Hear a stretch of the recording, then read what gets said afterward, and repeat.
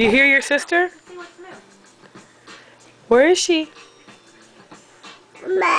Where is she? Where are you? No. Go go to see Olivia. Go see Olivia. I've traveled over half our state. Where's Olivia? Huh? Where's your sister? In your guys' messy room? Where is she? Where is she? There she is. She's playing in her room.